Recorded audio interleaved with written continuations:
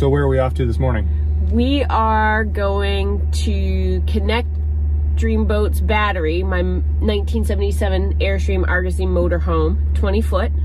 Um, if you haven't been following that project, go ahead and check our video catalog because we have done quite a bit of work, but it's almost spring and we are going to get him ready to um, get some work done on it. I'm really excited about this.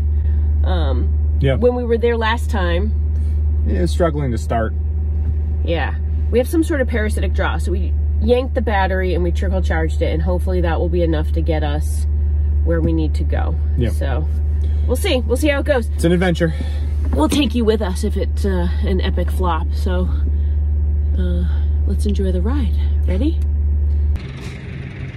So Andrew is moving stuff from Dreamboat to the other project trailer so that we can get working on him and we'll have room on the inside. We are going to start getting him ready to get started actually. So we'll see.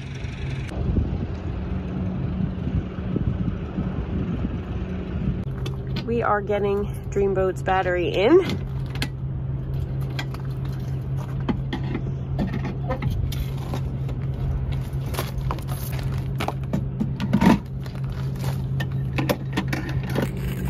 Cleaning the um, post clamp. Starting voltage is 12.75, 12.76. Uh, we'll see what it is when we arrive. I'm just gonna take off his, I'm gonna take off his air cleaner and check and make sure that when this is being moved by the gas pedal, that gas is coming into the bowls. And then anybody who's had any sort of classic car or yeah, classic car or lawnmower or whatever knows that carb cleaner is the magic elixir of life. So I kind of use it at, whoops, at explosive.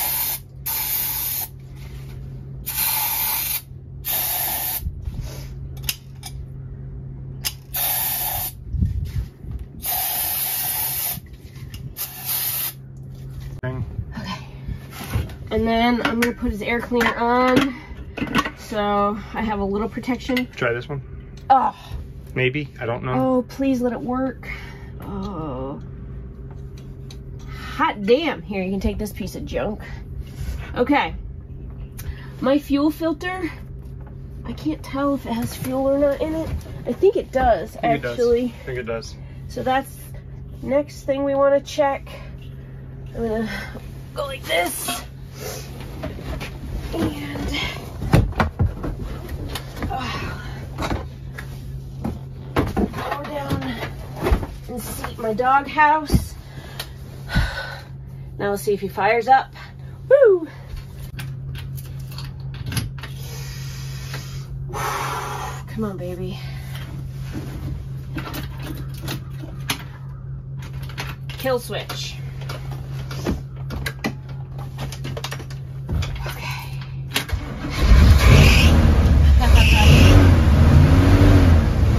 yeah!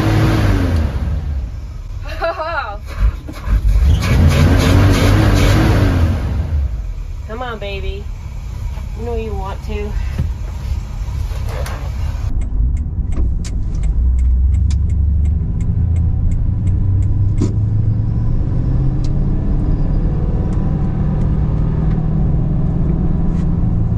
And that left blinker still on, which I guess is okay because you're about to merge.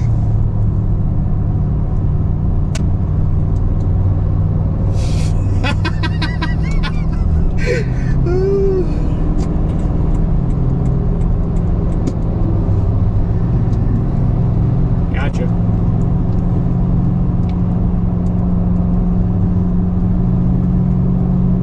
And that's 50 miles an hour.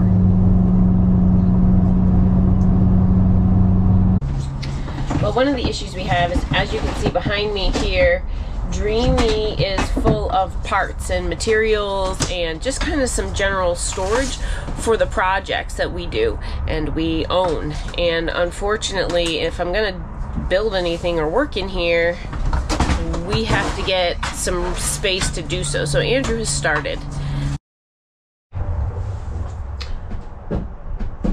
So we've cleared some space in Dreamboat, and what we're planning to do is um, start working on designing and building in the interior. And we're not exactly ready in terms of order of operations. You can see like I still have wall patches and that kind of stuff. But what we decided to do is start building in because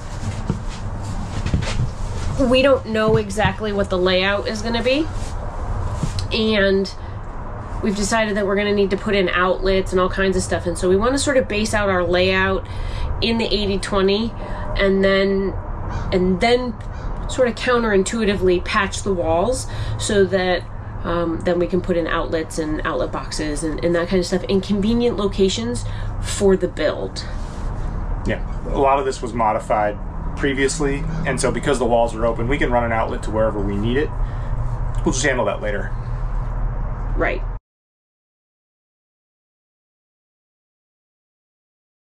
We plan for the build and dream boat to use a combination of 80-20 and IKEA dimensions. And you can see here that Andrew has started, you can see here that Andrew has started mocking up what will be the side of an IKEA cabinet box. And you can see the IKEA cabinet boxes here that we have from when we had a house. And what we're going to do is we are going to use that as a template to make it in this. So let's see how that goes.